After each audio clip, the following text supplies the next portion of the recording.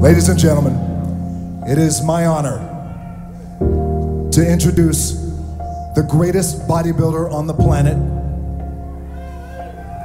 the recipient of the 2017 iconic Sandow Trophy.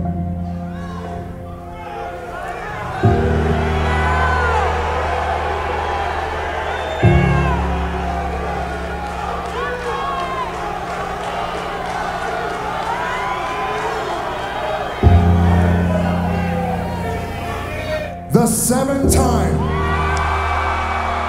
Mr. Olympia, Phil the Gift Heath. As spoken from the mouth of Dwayne the Arnold Schwarzenegger's record at number seven.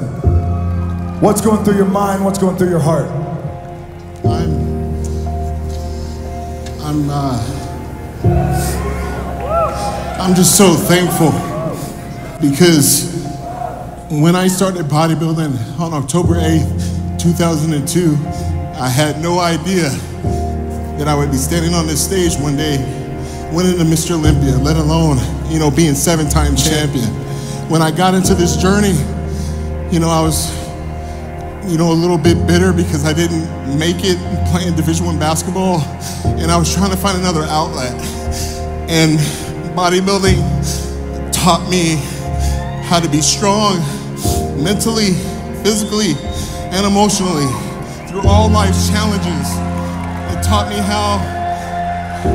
It taught me how to train hard when no one's in the room, when you're having a bad day, through death, through hardship, through anything that can go wrong. You, I always had the gym. I always had the gym. Over at Armbrust, I could train. I could train any time of the day. There would be days I would train by myself or with my fiance Cherie, and I would be in there dying. I'd be in there dying, looking at those pictures in the gym of Schwarzenegger, of Coleman, of Haney, of Dorian, of everybody. And I would just tell myself one more set, one more rep. Just give it everything you got so you can put yourself in the best position to win. And that's all we can do in life, people. Sometimes life is gonna serve you up some curveballs, but I challenge each and every one of you to step in that batter's box and take a damn swing. Just take a swing. And it ain't gonna always work out for you. It ain't gonna always work out. Look, I just beat some incredible athletes. They are some of the best athletes I've ever competed against. Please give them a round of applause, please. Because they have made this, they have made this so hard. But I can tell you what, my faith in God, my family, my trainer, Hany Rambod, I love you, man. I've had one trainer, one. I did my first pro show in 2006 at the Colorado Pro. We did the New York Pro after that, and we won both of them. And a lot of people thought, you know what, this guy's gonna be something. And Hany always told me, Phil, you have to understand something. It's a marathon, not a sprint, and the measurement of a man is when he gets knocked down, not when he's winning. So I lost a few times.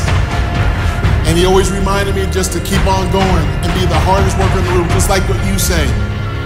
And when people tell you you can't, you don't look at them. You don't need to look at them. You look in the mirror and you ask yourself, do you give it your all? You look at the mirror and you ask yourself, do you have another rep? You ask yourself, can I go to work when I'm pissed off because I'm about to get fired or something bad happened or lost my girlfriend or whatever it is.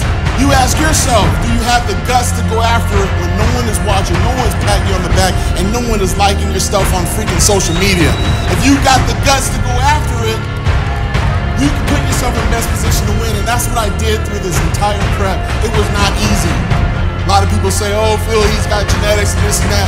I put that God given talent to work each and every damn day in the gym.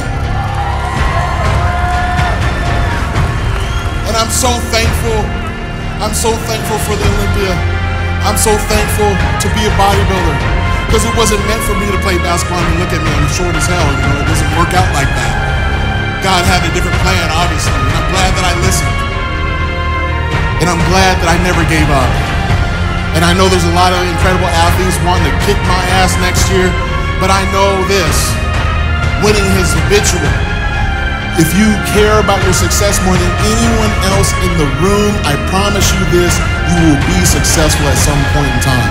But the goal is, is that when you are successful, that you don't just hide it for yourself. You don't just hold it for yourself. You share those experiences and perspectives with everybody else so that they can get theirs. Their dreams. And I'm just proud to be a seven-time Mr. Olympia.